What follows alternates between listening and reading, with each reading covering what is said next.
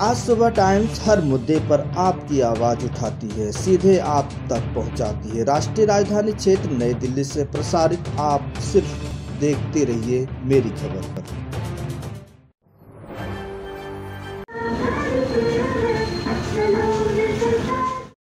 नमस्कार, मैं हूँ लालचंद सोनी। आज सुबह टाइम्स में आप सभी का स्वागत है। इस वक्त भारत भर में यह हलचल देखी जा रही है कि लड़का और लड़कियों के लिए, आपको इसलिए बता रहा हूँ कि आप समझ सकते हैं कि भारत सरकार लड़का और लड़कियों की शादी विवाह के लिए 18 से 21 वर्ष करने की पहल चल रही है। कुछ लोगों का राय है कि ठीक है और कुछ आम जनता का यह राय है कि लड़की का विवाह जल्दी कर देनी चाहिए। 18 साल होते ही होते जल्द से जल्द शादी कर देनी चाहिए। इस अंतराल पर अब भारत सरकार लड़का और लड़कियों की विवाह को लेकर पवित्र बंधन में बंधने से पहले और नई घर बसाने से पहले यह उम्र होना बहुत ज़रूरी है। 18 से 21 वर्ष जो सामाजिक वातावरण में तालमेल बिठाने में समय मिलेगा और लड़का लड़की पढ़ लिख कर कुछ नई सोच के साथ अपना घर बसा सकती हैं या खुद सोचने की प्रक्रिया में खुद पर निर्भर रहेंगे।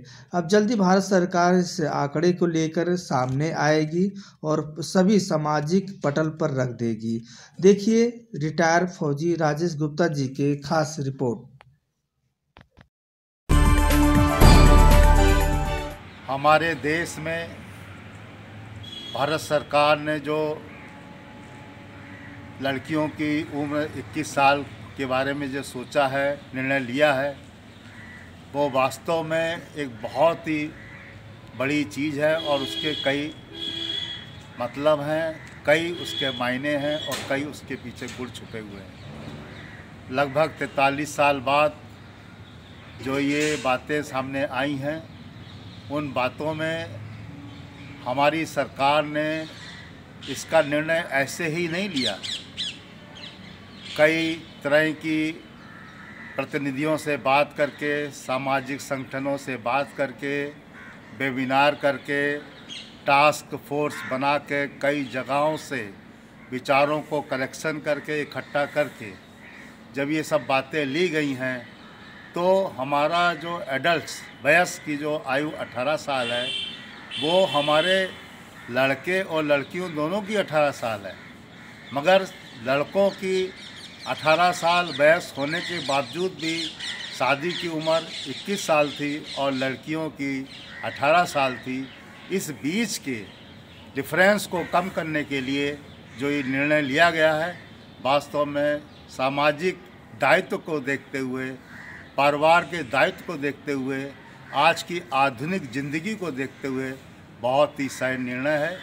भारत सरकार के इस निर्णय से उन बच्चियों को, उन लड़कियों को एक नई नई चीज़ें और सीखने का मौका मिलेगा। उनका जो बौद्धिक विकास है वो होगा, उनका सामाजिक विकास है वो भी होगा। साथ ही साथ परिवार को पालने के लिए जो उनको ज़रूरी कायदे, नियम समझने हैं वो भी समझने का मौका मिलेगा। अपनी पढ़ाई पूरी करने के लिए भी उनको पूरा मौका मिलेगा। और देखा जाए तो समाज के दायित्व को एक पुल की तरह बांधने के लिए, जो समाज और परिवार में एक पुल बनता है, उसको बांधने के लिए ये तीन साल हमारे सीमेंट आरसीसी का कार्य करेंगे, ईंटे का काम करेंगे, बिल्डिंग मटेरियल का काम करेंगे पुल बनाने में। जो हमारे साम्राज्य दायित्व को और पारिक, पारिवारिक दायित्व को एक पुल के रूप में बाँध के रखने में बहुत ही सफलता देगा।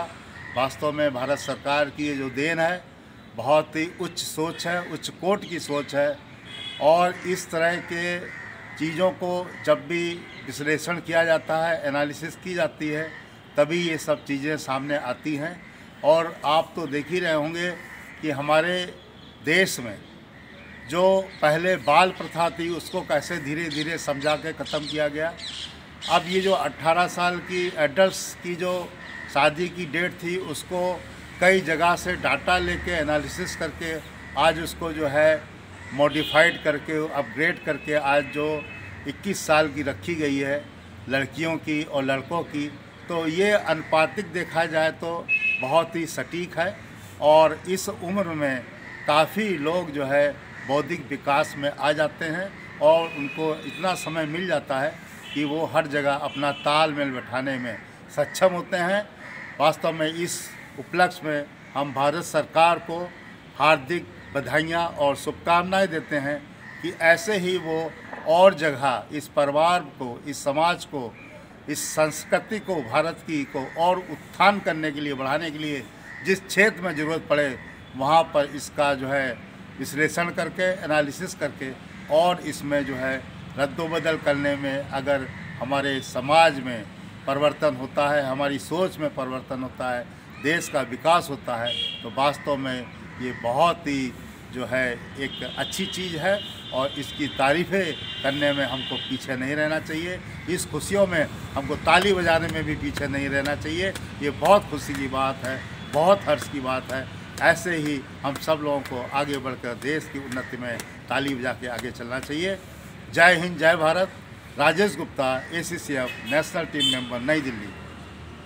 नमस्कार दोस्तों, मेरे चैनल को सब्सक्राइब, लाइक करें और आइकॉन को ज़रूर दबाएँ ताकि आने वाले वीडियो को आपको नोटिफिकेशन मिल जाए। धन्यवाद।